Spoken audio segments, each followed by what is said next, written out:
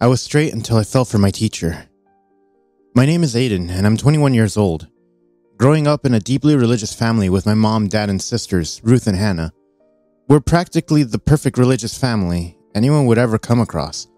Despite being of an age where most dive into the dating scene, I had never been on a date, never kissed a girl, and never had a girlfriend. My mom would often drop subtle hints about potential relationships, especially with the daughter of my other friends from church. But strangely, I would be uninterested. I desperately wanted to break free from what felt like a cage. The opportunity presented itself when I received an email notifying me of an acceptance into a university in California. In the initial days, campus life seemed like a never ending loop. My routine was predictable, almost down to the minute. Every night, just before bed, I joined my family in prayer. I studied in the library during the day to warm up for classes and made sure to FaceTime my sisters, showing them the campus. It should have been enough, but it wasn't. While everyone around me effortlessly made friends, I was too shy to approach anyone and kept to myself instead. One afternoon, as I headed back to my dorm from the library, three guys approached me. Hey, you're Aiden, right? I'm Matt. These are Julian and Will, Matt said, introducing his friends. Hi, I replied, my voice small, wondering how he knew my name. It hit me suddenly. Maybe, just maybe, this was my chance to break out of my shell. How did you know my name? I asked. It's a campus. Everyone knows everyone, he said with a shrug. Wanna grab a burger or something and maybe play video games in our room later? A grin spread through my face. This could be the breakthrough I needed. Sure, that would be nice, I said, silently thanking the heavens. On my first day of forestry class, I made sure to look at my absolute best. Matt, Julian, and Will, coincidentally attending the class too, convinced me to join them at the back, though I preferred the front row. The last thing I needed was for them to label me as a geek or nerd. However, I immediately regretted my decision. The minute the forestry lecturer walked in, he was quite tall, sporting a loosely fitted shirt that still showcased a lanky build. His sandy brown hair had that effortlessly ruffled look, and I wished I had taken a front row seat for a closer look. Hello, everyone. I'm Jonathan Gale. I may look young, but rest assured I'll be handling this class, he declared. Laughter erupted, and I could see the girl swooning over him. Apparently, I wasn't the only one who thought he was gorgeous. I'd like to get to know you all. Feel free to ask any questions about the class before we start. Let's make this as interactive as possible, Jonathan continued. How old are you? A girl shouted. More laughter.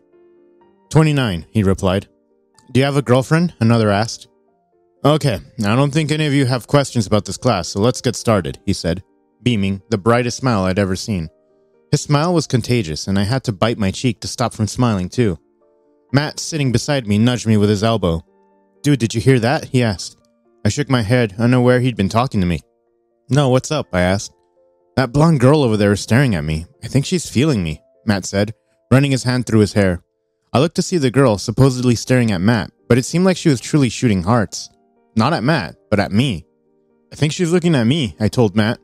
He let out an annoying laugh, looking at me like I'd said something dumb. You? What would a hot girl like that see in you? he asked. I'm a better option. I should have been hurt by his comment, but funny enough, I wasn't. He could have her. Yes, you are, I said, pampering his ego. That weekend, I decided to visit the local plant nursery on campus. I wanted to send pictures of flowers to my sisters back home, per their request. I stumbled upon a display of forget me nots, their delicate blue blossoms standing out amidst the vivid hues. As I marveled at the flowers, a voice interrupted my thoughts. Quite enchanting, aren't they? I turned around to see Jonathan standing there with an amused twinkle in his eyes. I froze, shocked that I was so close to him. Yeah, yeah, I stuttered. I'm Aiden, a student in your class, and I'm honored to meet you, sir. I enjoy all your classes and. I'm glad you enjoy forestry, he began. In all the years I have taught, which aren't many, I admit, there have been a few people who actually like it. I get it, I answered with a nod, although I was a lot shyer than he appeared. Plus, convincing them to fall in love with my subject is a little hard when girls just want to take pictures of me and get my email address to woo me, he interrupted letting a hearty laugh. Even though he was laughing, I could see the subtle disappointment on his face. It probably hurt him, students liking his face but not his subject. It must be tough, I managed to put out. I did not know what else to say. He slowly nodded. I'm sure you understand my trouble, Aiden, he replied, his gaze lingering for more than a beat. I couldn't help but stare at him in subtle shock. Was that a compliment? Jonathan gave me a little smile and stepped back. Anyways, I should go. Glad to know you love the flowers, though. Keep it on. He gave me a thumbs up and left. I walked back to my dorm like I just hit the jackpot. Lost in my little victory parade, I didn't pay attention to the group of girls in front of me and accidentally bumped into them. One of them stumbled and reflexively I caught her. I'm so sorry about that, I said. As soon as our eyes met, I immediately recognized her as the blonde girl from Jonathan's forestry class. It's okay, she said in a tiny, soft voice. You can make it up to me by going on a date with me. I was speechless. You're interested in me? I asked. She chuckled, gave my arm a touch, and with a provocative, I'll see you around, she sauntered off. I have no clue how to process that. Matt was eyeing her, and I was pretty sure he wouldn't appreciate her change of interest. How the heck would I explain that she approached me? Resolved to clear the air, I decided that the next time I saw her, I'd politely let her know I wasn't interested. The moment never materialized. While Matt bombarded me with his updates about the blonde girl whose name was Susan, my mind was fixated on Jonathan Gale. I strategically attended all his classes, front row seat secured. Occasionally, his gaze met mine during his lectures, and he'd shoot me a warm smile that turned my insides to mush. One evening, Matt called me. There's a small party at 9 p.m. tonight. You should totally come, he suggested. I'd rather not. Parties aren't my thing, and tomorrow's Monday, I hesitated. It's a small one, Aiden. No alcohol, no smoke, just soda and good music. Susan and her girls will be there. I need some moral support when I ask her out, Matt insisted. Julian and Will can give you all the support you need. Plus, are you sure you want to ask her out? Geez, Aiden, are you saying I can't? People like you can't, not me. I know Susan is head over heels for me, even if she's playing hard to get. Who knows? You might find a girl too. Although I think the chances are slim, Matt pressed. I was irritated, but I swallowed it. Okay, I'll be there, I conceded, knowing Matt wouldn't let up until I did. Just a harmless party, or so I thought. Nervousness crept over me. I had never attended a party on campus, but I trusted Matt. This could be a chance to step out of my comfort zone and experience something new. On my way to the venue, I passed a local nursery, and to my shock, I saw Jonathan laughing with a girl with beautiful red hair. Jealousy gripped me as they admired the flowers together. Pissed at what I'd seen, and even more at myself for seeing it, I accidentally hit my leg on a stone and cursed loudly.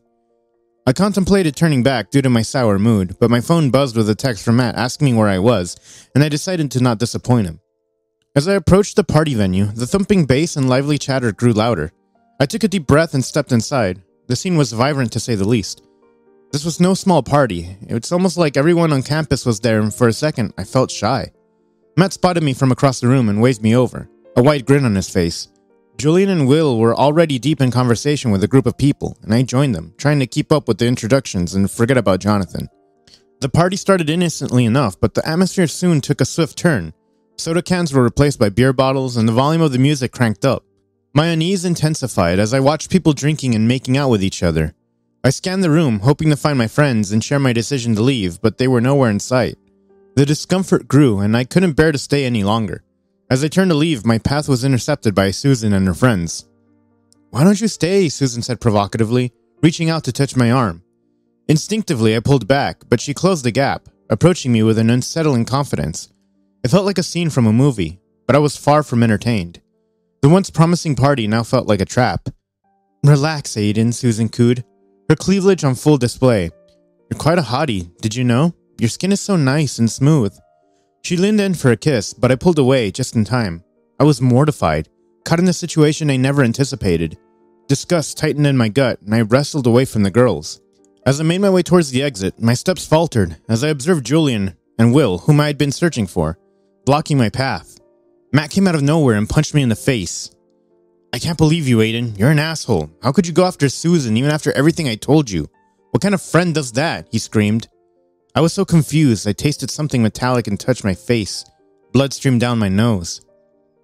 If this is about Susan, I can explain. I'm not interested in her, Matt. I don't like her, I said, hoping to ease the tension.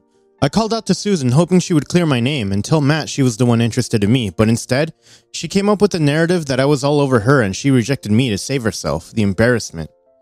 Matt didn't care about anything I had to say. He lunged at me again, but I was quick to dodge his blows.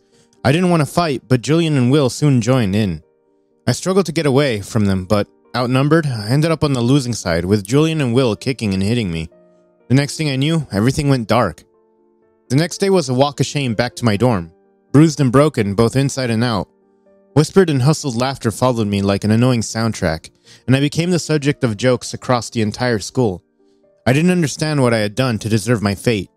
Betrayed, confused, and alone, I struggled to attend classes, hiding in the last row to avoid drawing too much attention to myself. especially from Jonathan. I didn't want him to see me this way, but somehow he did. After the class, I attempted to leave without being noticed, but he caught up to me, visibly concerned about my appearance. Aiden, can we talk for a second? He asked, guiding me to a quiet corner of the classroom. I looked around, catching Matt, Julian, and Will eyeing me. Yes, but not here, please, I said. Jonathan understood, and we ended up at the local nursery. Aiden, are you okay? Did something happen? He spoke gently.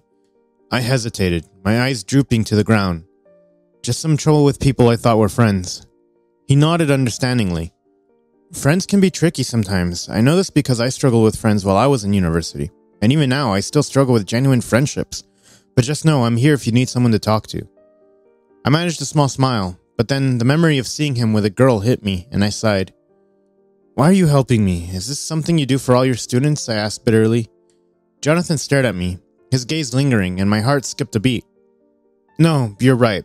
I don't know why I want to help you. I don't usually do this, he said, getting up.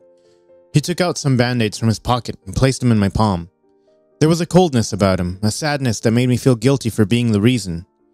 I'm sorry, I said, just as he was about to leave. Don't be. You didn't say anything wrong, he replied. At that moment, a girl with beautiful red hair strolled by and greeted Jonathan with a hug. It was the same girl I had seen him with on the night of the party. I'm Summer, the girl introduced as soon as Jonathan left. Aiden, I managed to say, even though I wasn't in the mood for conversation. I knew that. Everyone knows Aiden, and what happened during the party last week, she laughed. There was something warm about her, and even though I didn't want to talk to her, I couldn't help it. So you and Jonathan are close? I asked her. A bit, just as friends. I took forestry last year, and I plan on setting up a small garden. Jonathan has been so helpful, plus I think he has other sexual preferences, Summer said with a playful wink. I was supposed to condemn the idea immediately because all my life I knew relationships were meant to be between a man and a woman. But instead, I entertained the notion, and for the first time, I let my mind wander into thoughts of a relationship between Jonathan and me. You're blushing, Summer teased. God, no, I, I'm just cold, I lied, trying to brush off the unexpected warmth creeping into my cheeks. We should be friends, Summer said all of a sudden. I gave her a puzzled look and she smiled. As you can see, she said, gesturing to her questionable dress sense and hair, I'm weird, and you're weird. We should stick together. Sure, I don't think you would beat me up if you were mad at me, I joked. Summer was a bit strange, but she became the only real friend I had in university, aside from Jonathan. Weirdly, I found myself included in a trio with Jonathan, Summer, and me. While they worked on her mini garden, I mostly sat back and observed. Honestly, I watched Jonathan more. Even with mud on his clothes and dirt on his hands, he managed to pull off an amazing look, and I wondered how someone like him was still single, or even if he was. For all I knew, he could have been lying. Geez, isn't Jonathan hot? Summer told me one day after she had excused herself to use the restroom. I nodded, feeling a blush creep up my cheeks, but I blamed it on the weather. Do you have a crush on him? I asked Summer. I wish. Jonathan thinks I'm a donut. When I wasn't in class, I spent most of my time hanging out with Summer, and I considered myself lucky to have found someone as amazing as she was. A week later, we had to go to a field trip, which was part of the curriculum for forestry. Listen up, guys. These maps will help you locate various herbs. I've marked some spots with an X, so avoid these areas. Ticked areas are good to go. Use your textbooks to identify the herbs. Form groups of four, Jonathan announced, distributing maps. I was about to find a group when Matt, Will, and Julian rushed to my side. I refused to be their partner and opted to find another group, but every other group was full.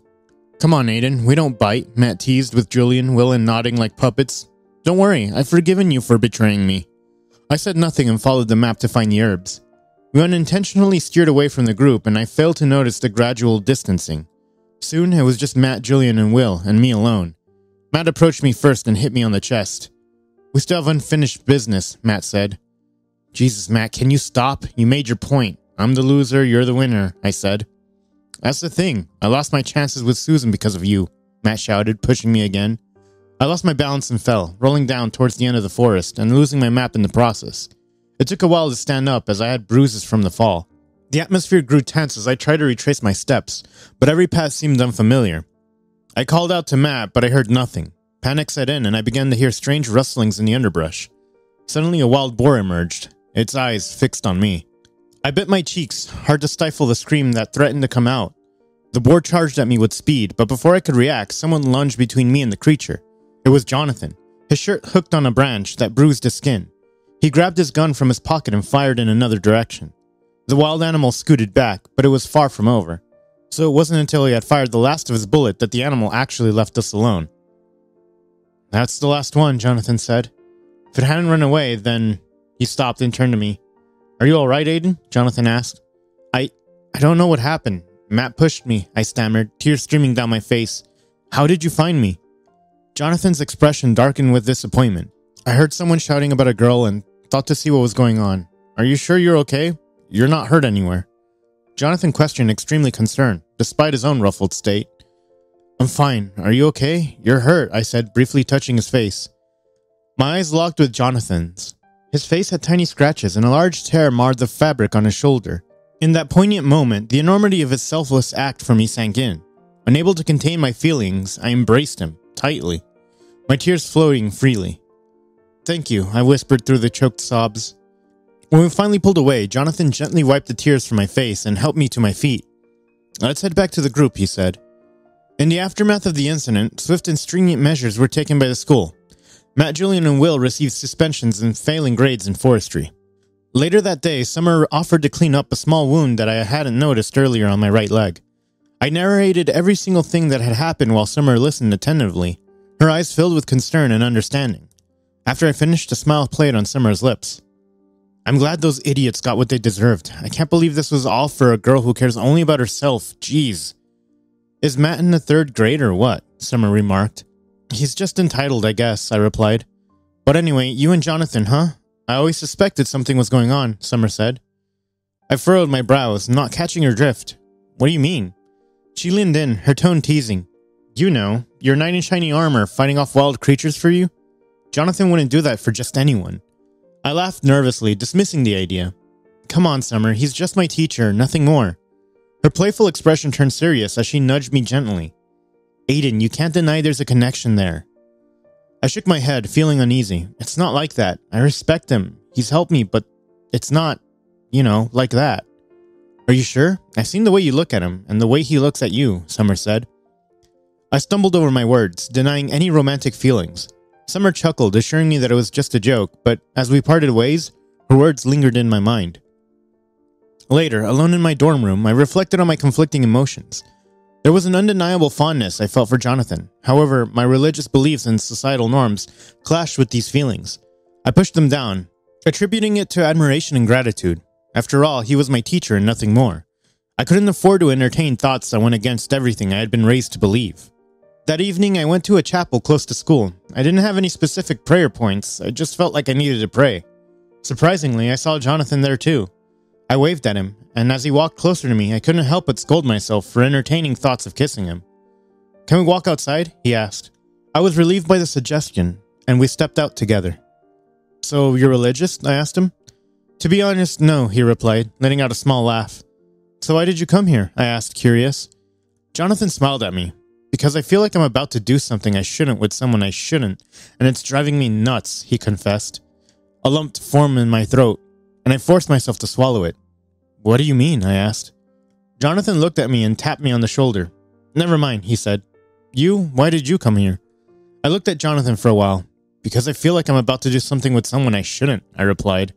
Is it Summer? I've seen how close you two are, Jonathan asked. No, it's someone else. Someone really cool, I clarified. As I returned home for the holidays, I told my family all about my experiences in school and the friends I had made. Mom and dad were thankful that I hadn't changed, but I knew that they were wrong. I had changed. In fact, I had fallen in love with my teacher. Throughout the holiday, I thought about my feelings and I knew that I had to address it eventually. The beginning of the next semester was a mix of excitement and nerves as I walked to the campus, pathways with Summer by my side. I decided to share my feelings about Jonathan. I trusted Summer, and it felt like the right time to confide in someone. Summer, I need to tell you something, I began hesitantly. She looked at me with genuine curiosity. What is it, Aiden? I took a deep breath. I think I have feelings for Jonathan. More than just admiration or gratitude, it's complicated. Summer's eyes widened in surprise, and she quickly composed herself. I knew it. Aiden, feelings are never straightforward. Have you told him? I shook my head. No, not yet. I'm not even sure how he feels, and I'm afraid it might complicate things. All my life, I lived based on principles that my family had laid out for me. I had to act in a certain manner to please people, but now I felt something that I'd never felt before, and it felt so right. What if he feels the same way? You know that's the end of his career, right? Summer asked, concerned. It dawned on me that she was right. A potential relationship would jeopardize Jonathan's career as a lecturer in the university. I didn't want to be responsible for ruining the career Jonathan had worked so hard for. I felt so stupid to even consider a relationship in the first place. A lecturer and a student? I tried to avoid Jonathan, but it was particularly impossible, with him always smiling at me and asking about my well being. I couldn't keep it to myself any longer. I just had to tell him. Besides, there was a big chance he wouldn't reciprocate my feelings. Jonathan, can we talk? I have to tell you something important, I said after class. He nodded, and we walked towards the local nursery. Of course, Aiden. Is there a problem? I shook my head. Thankfully, there was no one in sight, and I felt comfortable sharing my feelings. Remember that day at the chapel when you asked me why I was there? I asked Jonathan, without wanting him to respond. I continued. It was because of you. I feel like I'm about to do something I shouldn't do with you. Something like what? Jonathan asked, closing the gap between us. I kept breathing fast as his eyes locked on mine. He lifted my chin with his index finger and pressed his lips to mine. Something like this? He asked me with a smile. My heart raced fast as I nodded yes. I pressed my lips to his again, and a small laugh escaped my lips as I pulled away. Something like that, I whispered. I've had feelings for you for a long time, Aiden. And I know it's wrong, but I couldn't care less. I tried to be close to you, but I couldn't be too close. You don't know how happy I am to hear you say this, Jonathan confessed. I couldn't believe my ears. Jonathan liked me. Jonathan and I agreed to meet later that night for a little date, and I couldn't have been happier. Little did I know, our conversation had not gone unnoticed. Unbeknownst to me, Susan had overheard my confession. She saw an opportunity to use this information against me, perhaps as revenge for her wounded pride. As I walked back to my dorm that day, I was about to text Summer about the new development when Susan cornered me in a secluded spot on campus, smirking with a devious glint in her eyes. I heard about you and Jonathan, Aiden. So you're gay? I mean, you could have said that instead of rejecting me the way you did. I felt a pang of anxiety. It was the first time anyone had called me gay, but surprisingly, it didn't sway me. At least not as much as I believed it would. I thought it was the other way around, Susan. You told everyone you rejected me. I even got beaten for it. Why does it still bother you? Susan looked at me like she couldn't believe my guts. Imagine what would happen to Jonathan's career if anyone were to find out about your relationship, she said slyly. I couldn't even stand her, so I walked away without saying another word. I was shaking, however, and if one looked close enough, they would also see the flush on my face. Another moment and I would have started crying. Fuck, it hurt. Would I really have people talk to me like that? That night, I met with Jonathan at a spot outside campus. Truly, what we were doing was going to hurt his career, and I couldn't do that to him. To my surprise, he had arranged a small rooftop date. It felt so unreal and magical, and I couldn't believe our love was going to be so short lived. Hi, I said quietly. He approached me and leaned in to kiss me, but I pulled back. I'm sorry, we can't be together. Someone knows about us, and it's going to ruin your career, I said quickly, tears falling down my eyes. Jonathan held me close and wiped the tears from my eyes.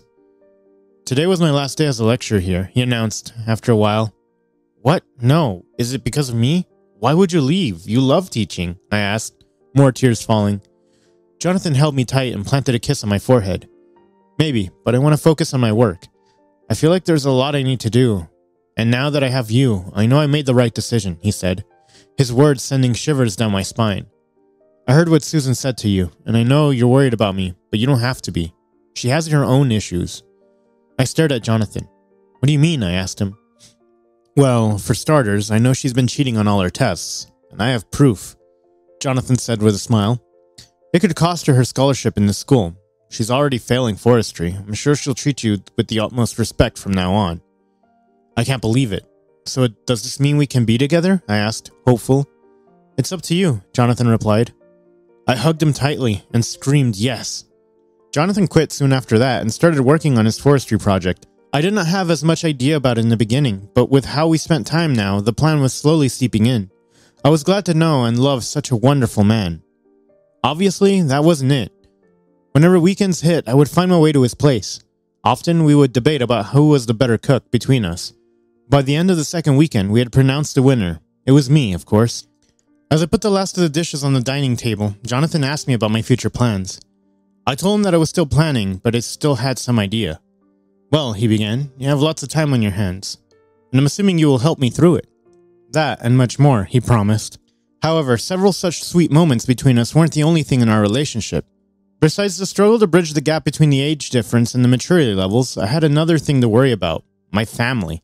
Precisely how they would react to Jonathan.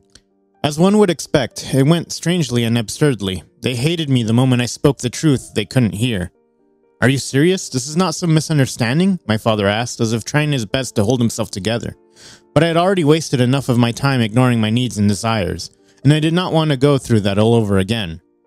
I'm serious, Dad, I replied, and I'm sorry if this is not what you want to hear, but get out, he barked, and pointed at the door with trembling hand. Get out before I do something I would regret. Jonathan held my hand. He was ready to do whatever I wanted to do. On the way back to California, I cried nonstop, but Jonathan was there to comfort me. I knew it wasn't going to be easy, but I didn't know it was going to hurt so much, I admitted. Jonathan hugged me tightly, stroking my hair. No matter what anyone says, I'm proud of you for not letting anyone dictate your path. I'm proud of you, he said. Coming out happens once, and you won't ever need to feel this pain again, so let it all out. And he was right. I was proud of myself for pursuing what felt right. I love you, Jonathan, I whispered desperately. I love you too, Aiden. Conclusion At school, acing tests became second nature.